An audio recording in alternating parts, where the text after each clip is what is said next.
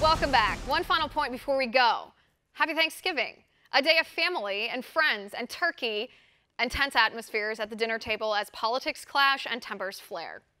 Every year I see about 12 articles around the internet telling liberals how to deal with old Uncle Floyd, that racist Republican in everybody's family. Those guides are full of safe spaces and grandstanding and trigger warnings of how to show your ignorant Republican family what's what.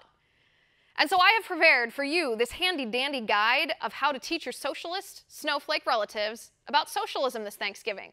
Number one, give your millennial cousin Mandy a piece of the pie that she brought. She said it was cooked herself, but it was from Costco, thank you. Capitalism.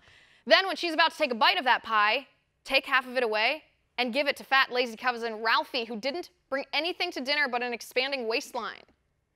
Number two, take all the toilet paper out of the bathroom.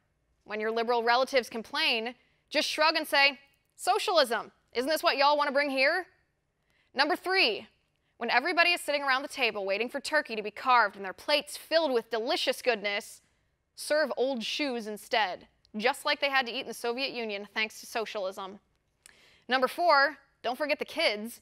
Have the gender neutrally dressed kids rat out their parents so Big Brother knows who dissents from the government and knows who to throw in prison. Number five, make all the uncles and grandfathers who were so woke they had I'm with her stickers on their Priuses, make them sit in the corner to eat their meal. They're the patriarchy. It's even worse if they're white. I'm not sure you should feed them at all. Number six, accuse your feminist relatives of horrible crimes and demand that they be convicted without proof. Because believe all accusations, right? Who needs rule of law? Number seven, steal progressive Aunt Margie's purse and empty her wallet to pay for everybody's college. Then when she runs out of money, throw a hissy fit and demand that we just pay for it, even though there's no money left and the money you stole from her wasn't yours. Number eight, when the woke teenagers get the flu from each other, tell them that they can have free health care, universal health care, but they'll have to wait for an appointment until after the first of the year.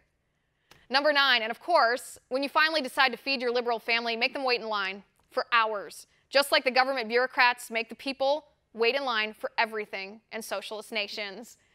And then thank the dear Lord above that we live in a free nation and thank God for the men and women in our military who serve and sacrifice to protect our liberty so we don't have to live in a tyranny begot of socialism. Happy Thanksgiving. And that is my final point. You can reach me on Twitter at Liz underscore Wheeler. If you like the show, please send me an email at oann.com slash contact.